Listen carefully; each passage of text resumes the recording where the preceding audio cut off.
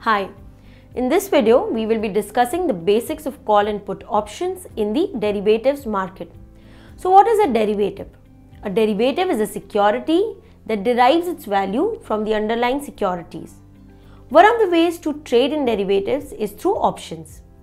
An option is an instrument that provides its holder the right to buy or sell any underlying securities at a fixed price and at a fixed date in the future.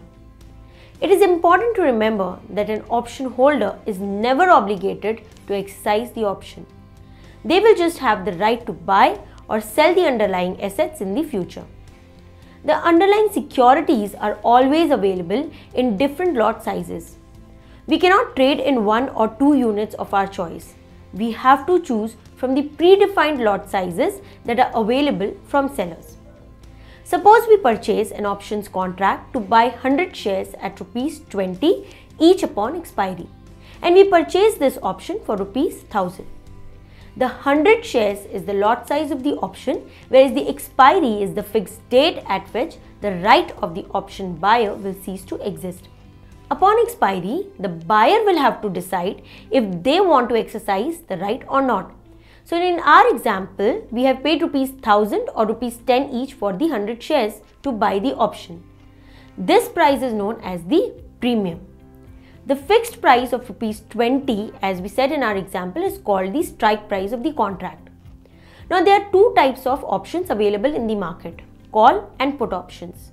A call option is the contract wherein we get the right to buy the underlying securities at a fixed price. As a buyer, we should buy a call option when we believe that the prices of the underlying assets will rise in the future. This is because if the price rises in future, then we will be able to buy the assets from the seller at a lower price and then immediately sell them in the market at a higher price, thus making a profit. On the other hand, a put option contract is the one where we get the right to sell the underlying securities at a fixed price.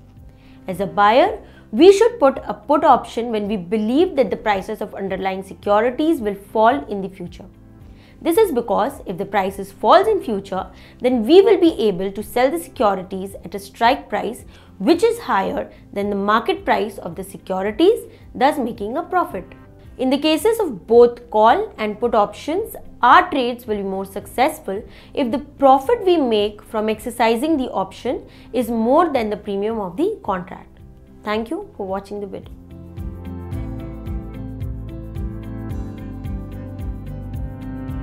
Investment in the securities market are subject to market risks. Read all the related documents carefully before investing. Such representations are not indicative of future results.